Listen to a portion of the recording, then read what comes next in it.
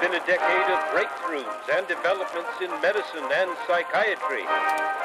Scientists have developed a new technology to cure mentally ill adults. With the use of electroshocks, the minds of sick patients are being wiped clean, giving them a fresh start. On this blank slate, physicians then imprint a new, healthy personality. Remaking people, shocking them into obedience. This is a story about that powerful idea. In the 1950s, it caught the attention of the CIA.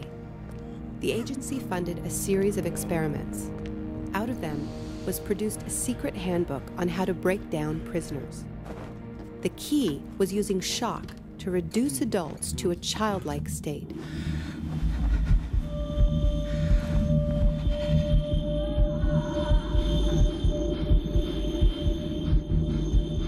It's a fundamental hypothesis of this handbook that these techniques are in essence methods of inducing regression of the personality.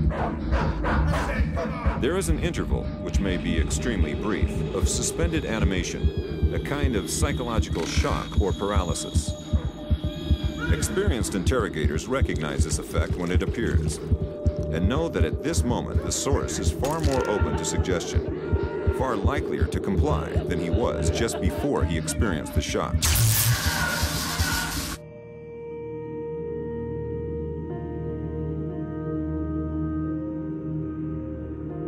But these techniques don't only work on individuals. They can work on whole societies. A collective trauma, a war, a coup, a natural disaster, a terrorist attack puts us all into a state of shock. And in the aftermath, like the prisoner in the interrogation chamber, we too become childlike, more inclined to follow leaders who claim to protect us. One person who understood this phenomenon early on was the most famous economist of our era, Milton Friedman. Friedman believed in a radical vision of society in which profit and the market drive every aspect of life, from schools to healthcare, even the army. He called for abolishing all trade protections, deregulating all prices, and eviscerating government services. These ideas have always been tremendously unpopular, and understandably so, they cause waves of unemployment, send prices soaring, and make life more precarious for millions. Unable to advance their agenda democratically, Friedman and his disciples were drawn to the power of shock. The subject should be rudely awakened and immediately blindfolded and handcuffed. When arrested at this time, most subjects experience intense feelings of shock, insecurity, and psychological stress. The idea is to prevent the subject from relaxing and recovering from shock.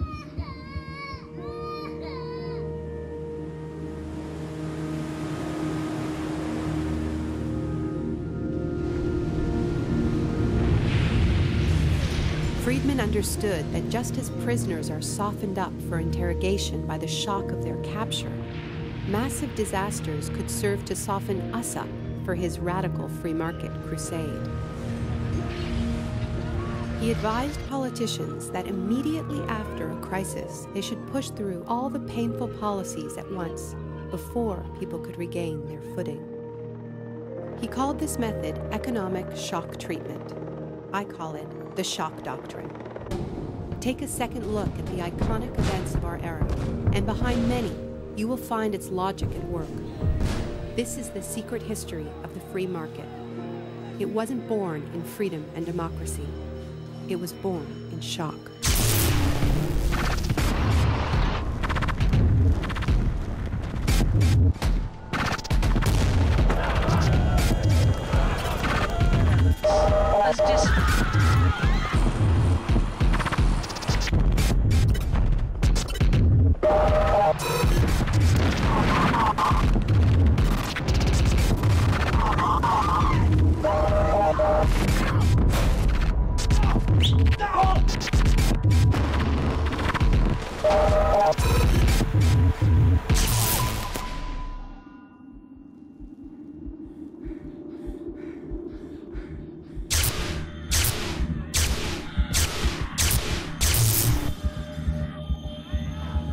Isolation, both physical and psychological, must be maintained from the moment of apprehension.